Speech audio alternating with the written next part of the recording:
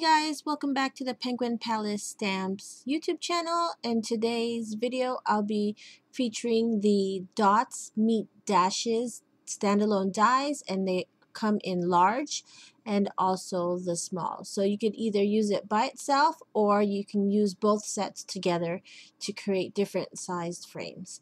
And then also I still have some colored images from a previous project and that is from the stamp set The More We Get Together. So let's get started on putting this card together. So this is the large dots meet dashes standalone die and I cut out three of the uh, rectangle sizes there. It's the large, the small, and then the I think the third die from the largest. Anyway, so I wanted to go with a sea theme, so I picked a couple of these um, distress uh, ink colors, and then I ended up only using three of those colors. I didn't use tumbled glass. I used faded jeans, uh, peacock feathers, pista uh, cracked pistachio, and then let's see yeah those three those are the three I used I didn't use tumbled glass so I basically kept the lighter colors in the center and then faded jeans on the outside. So I just kept on layering making sure everything was blended and bright in the center. And then also after coloring the large one I ended up coloring uh, the other two sizes. Um, I eventually uh, cut the center portion of that cardstock out so I should have just focused on the outside but it's okay. Um, I just wanted to color the uh, whole uh, rectangle. So yeah so that is the completed uh, cardstock shapes and then here I am cutting out the center to make a shaker frame and this is the dots meet dashes small uh, standalone die. So if you use uh, one the large set to create the frames by itself you get a thicker frame. If you uh, use the large and the small dies together you can get a quarter inch frame. So now I am adhering the large piece to the base of my card, A2 size, four and a quarter by five and a half. And then um, since it's a, a sea theme, I wanted to add some white dots, some like splatters on it. And then here I'm just testing out like the kind of splatter I want. And I'm using a spray from Lindy's Stamp Gang.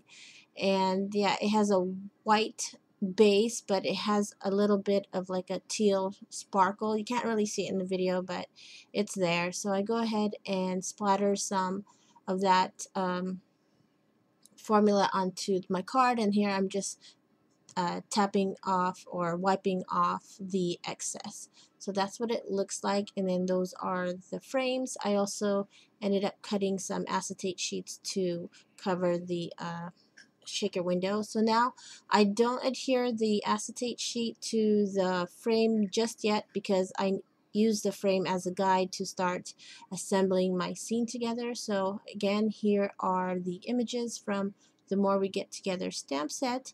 And I have a previous video where I colored most of these images already and I'll link that in the description box below. So I'm just taking some leftover colored elements from that stamp set and then just creating my little scenes in each of the window boxes. So here added some seaweed, some coral, and then this cute little critter on top of that like a coral or sandcastle.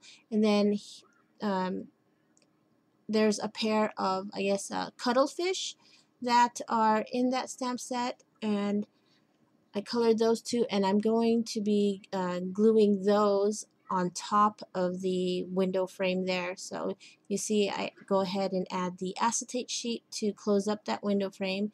And then next I'm going to adhere the sentiment wanna cuttle because they're cuttlefish and I just stamped it on some white cardstock and cut out like a little fishtail banner. And then here I'm going to adhere the cuttlefish images to the top of that shaker window. So that is the first scene.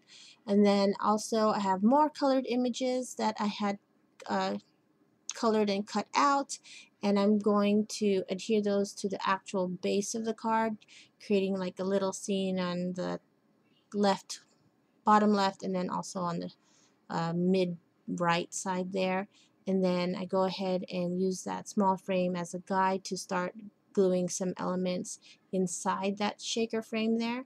And so there's a different type of seaweed and then a small um, coral stem there. And then they have this uh, jellyfish images on that stamp set that I had colored. And then I went ahead and um, adhere the acetate sheet to that small uh, shaker window and then I don't think I'm going to add any more bigger elements to that scene inside so I go ahead and glue those uh, jellyfish to the front of that shaker window.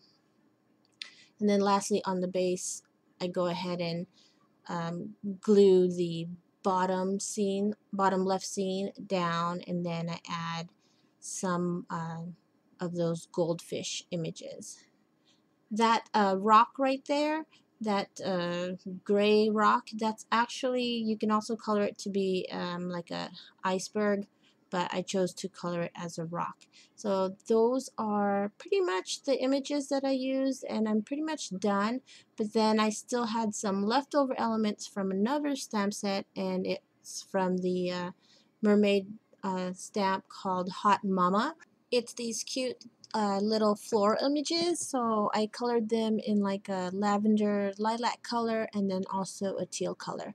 So I go ahead and adhere those to the coral stems and I just wanted to add a little bit more interest to those and just fill up those um, shaker window scenes so then that's pretty much it. Everything is already adhered and then now I'm going to add some foam adhesive tape to the back of the shaker windows so then uh, for the inside of the shaker, I'm going to add some clear micro beads and also some blue hexagon sequins.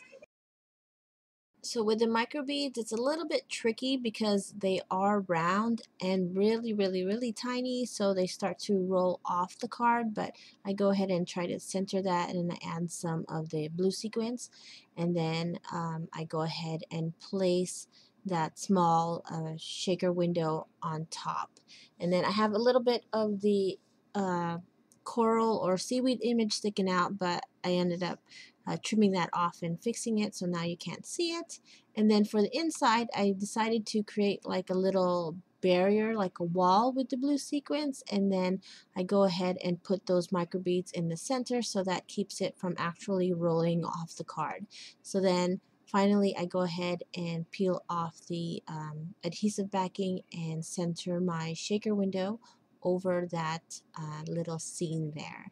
And, and then I think lastly, I don't know, I still, I guess I wasn't done with the card because I went ahead and added one more uh, coral uh, image to the top of that window. Here I'm just trying to figure out where I want to add it but I ended up putting it right at the end of the sentiment. So that completes my card.